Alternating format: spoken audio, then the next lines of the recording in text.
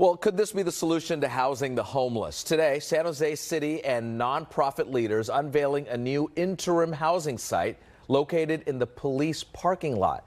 Here's NBC's Bay Area's Ian Cull. 33 year old Juan Banales has been homeless for some time after he says hitting rock bottom. But today he got a preview of his new home and path forward. It's a shattered dream that's uh, coming true, you know? Like, um, I thought I wasn't going to be able to come out of the situation that I was in. Juan is one of 96 people who will now have a place to live as the city of San Jose unveiled its latest interim housing project.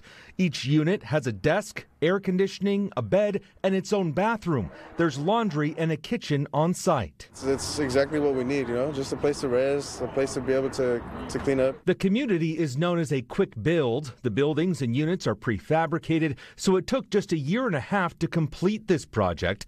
It's something San Jose is focusing on moving forward to curb the homelessness crisis. These units take one and a half years to build on average versus the nearly five years it's taking to build more traditional affordable housing and we're able to deliver them at about one seventh the cost per door. And half of the units here will be reserved for members of the San Jose Bridge and Goodwill Strive program. It employs the unhoused to clean up and beautify the city. This is going to just explode with impact impact not only for the residents that we're serving, but the community at large. San Jose now has 700 units like this either operating or under construction. Another 300 are on the way, and all of the projects have been built on public land so far. This one is in the parking lot next to police headquarters. Yeah, I appreciate the opportunity. For Banales, it's a second chance.